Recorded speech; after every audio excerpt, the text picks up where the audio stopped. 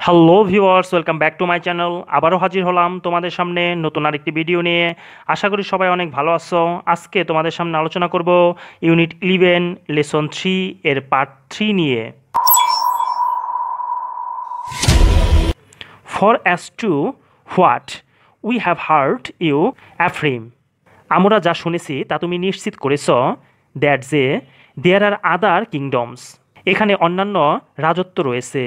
And states এবং রাষ্ট্র রয়েছে ইন দ্য ওয়ার্ল্ড বিশ্বের inhabited by human creatures as large as yourself আমরা যা শুনেছি ও তুমি নিশ্চিত করেছ যে বিশ্বে তোমার মতো বড় মানবজীব দ্বারা অধিষ্ঠিত অন্যান্য সাম্রাজ্য রাষ্ট্র আছে। আওয়ার ফিলোসোফার্স আমাদের দার্শনিকেরা আর ইন মাচ ডাউট তাদের অনেক সন্দেহ রয়েছে and would rather conjecture that you drop from the moon এ বিষয়ে আমাদের দার্শনিকগণ অনেক সন্দিহান এবং তারা বরং এটা অনুমান করে যে তুমি চাঁদ অর অথবা ওয়ান অফ দ্য স্টার্স অথবা কোনো একটা তারকা থেকে এসেছ। বিকজ কারণ ইট ইজ সার্টেন ইহা নিশ্চিত দ্যাট যে an hundred mortals of your bulk কারণ এটা নিশ্চিত যে তোমার আকৃতির এরকম একশো মানব খুব অল্প সময়ের মধ্যে মহামান্য রাজার রাজ্যের সমস্ত ফল ও গবাদি পশুর ধ্বংস করে ফেলবে। বিসাইডস এছাড়াও আওয়ার হিস্টোরিজ আমাদের ইতিহাস অফ সিক্স থাউজেন্ড মুনস ছয় হাজার চাঁদের মেঘ তৈরি করে no mention of any other regions অন্য যে কোনো অঞ্চলের ক্ষেত্রে দেন থেকে দ্য টু গ্রেট দুটি বড় বা বিশাল emperors of Lilliput and Blefuscu এছাড়া আমাদের ছয় হাজার চাঁদের ইতিহাসে লিলিপুট ও ব্লেফাস্কু ছাড়া অন্য কোনো অঞ্চলের উল্লেখ নেই। হুইস যা কিনা টু মাইটি পাওয়ার্স, দুটি শক্তিশালী ক্ষমতা হ্যাভ রয়েছে, অ্যাস আই ওয়াজ গোয়িং, যেহেতু আমি যাচ্ছিলাম টু টেল ইউ বলতে, তোমাকে বলতে, been engaged in a most obstinate war for six and thirty moons past. আমি তোমাকে বলতে চাচ্ছিলাম যে এই দুটি বিপুল শক্তিধর রাষ্ট্র গত ছত্রিশ চাঁদ ধরে সবচেয়ে কঠিন একটি যুদ্ধে লিপ্ত রয়েছে। ইট বিগান, ইহা শুরু হয়েছিল আপন দ্য ফলোয়িং অকেশন। এটা পরবর্তীতে উল্লেখিত কারণে শুরু হয়েছিল। ইট ইজ অ্যালাউড, এটি অনুমোদিত হয়েছিল অন অল হ্যান্ডস, সকল হ্যান্ডের ক্ষেত্রে দ্যাট যা দ্য প্রিমেটিভ ওয়ে প্রাথমিক পর্যায়ে of breaking eggs before we eat them was upon the larger int. ডিম খাওয়ার আগে তা ভাঙার উপায় ছিল এর বড় দিক থেকে শুরু করা এবং এভাবেই চলছিল। বাট কিন্তু হিজ প্রেজেন্ট, তার বর্তমানে ম্যাজিস্ট্রিস গ্র্যান্ডফাদার হোয়াইল, যখন হি ওয়াজ আ বয়, যখন তিনি একজন বালক ছিলেন, গোয়িং যাচ্ছিলেন টু ইট খেতে এক, একটি ডিম, অ্যান্ড এবং ব্রেকিং এবং ভাঙতে ইট, এই ডিমটিকে, অ্যাকর্ডিং টু অ্যানসেন্ট প্র্যাকটিস প্রাচীন অনুশীলন অনুসারে বা চর্চা অনুসারে হ্যাপেন ঘটেছিল to cut one of his fingers তখন তিনি তার একটি আঙুর বা আঙুর কেটে কেটে ফেলে। কিন্তু বর্তমান মহামান্য রাজার দাদা তার শৈশবে প্রাচীন উপায়ে ডিম খেতে গিয়ে তার একটি আঙ্গুল কেটে ফেলেছিলেন।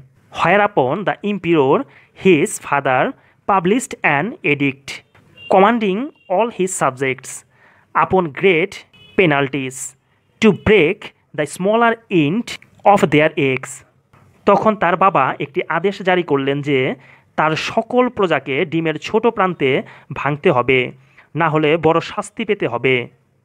The people so highly resented this law মানুষ এই আইনের কারণে এতটা বেশি ক্ষুব্ধ হয়েছিল দ্যাট যে আওয়ার হিস্টোরিজ টেল আস আমাদের ইতিহাস আমাদের বলে দেয় there have been six rebellions raised on that account এর ফলে ছয়বার বিদ্রোহ হয়েছিল। আমাদের ইতিহাস বলে যে, মানুষ এই আইনের কারণে এতটা বেশি ক্ষুব্ধ হয়েছিল যে, এর ফলে ছয়বার বিদ্রোহ হয়েছিল। Wherein one emperor lost his life and another his crown এসব বিদ্রোহের কারণে একজন সম্রাট তার জীবন হারিয়েছিলেন এবং একজন তার মুকুট হারিয়েছিলেন।